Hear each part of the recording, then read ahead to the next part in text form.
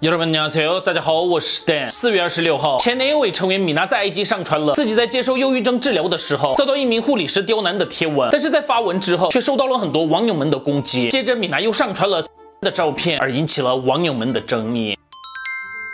八个月前，为了更改精神科阅诊时间，与一名比我小很多岁的护理师，听着对我发火、愤怒的声音通话了。因为当时是我状态最糟糕的时候，所以就哭着对他说了：“为什么要对我这样？”在挂完电话不久，突然恐慌障碍就发作，在我身上留下了很多伤痕。那之后我没能继续去医院，但是因为那所医院对我来说是来往最方便、接受治疗也最方便，所以在过了八个月后，我又重新打了电话，结果又是那位年轻的护理师接了电话。我不知道那个人为什么要用那种语气跟我说话，但是我善良的对应了。今天第三次通话的时候，我实在。不能忍耐，就对他说了：“我忍耐了七次，已经足够了。是看我好欺负吗？是在测试我的性格吗？因为护理师你不想要再去了。”结果护理师只是反复回应：“好的，那挂了。”结果今天当面谈话了，误会在精神科，甚至是护理师能这样对待忧郁症严重的患者吗？为什么要耍大牌呢？如果你家里有忧郁症患者，被像你这样的护理师无视、刁难的对待，被比自己小很多的人当做出气对象，你的心情会怎么样呢？我是想要接受治疗，不是要被你当成出气对象。八个月前我的状态真的很危险，不知道后来是不是因为真的有认真听我说的那些话，自己。说会离开医院，我去过很多精神科，但你没有资格。我也同意你该要离开。如果不是要更加学习、更加为患者着想的话，请不要给医院以及患者们伤害。下次去的时候，希望你能领悟到很多，也希望能像你说的一样，不要在那里了。在上传这个贴文之后，虽然也有很多鼓励、安慰的留言，但是相对也有很多指责、讽刺米娜的留言，甚至也有很多人身攻击性的留言。结果米娜再次上传了满地都是血、疑似。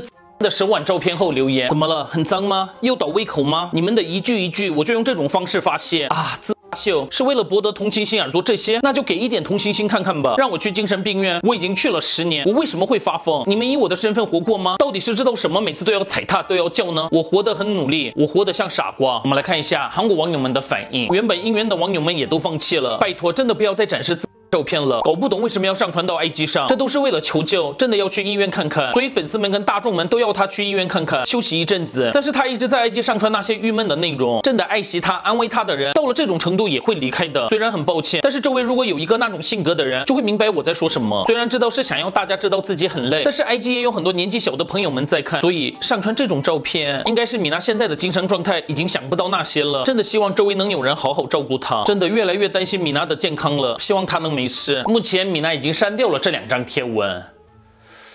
现在看韩国网友们普遍的意见的话，担心米娜健康的人，觉得米娜有点过分的人，双方的意见听起来都是非常有道理的，所以真的不知道该说什么了。对于米娜今天的消息，大家觉得怎么样呢？